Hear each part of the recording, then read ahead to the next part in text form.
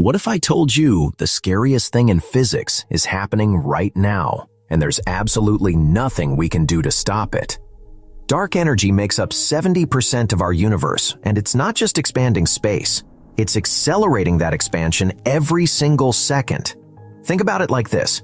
Imagine space itself is a balloon being inflated faster and faster. Eventually, that balloon stretches so much that everything inside gets ripped apart.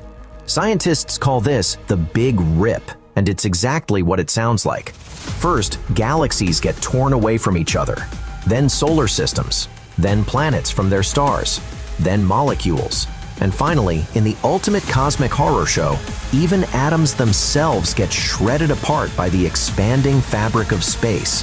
The craziest part? This isn't science fiction. This is one of the leading theories for how our universe could actually end. Sweet dreams.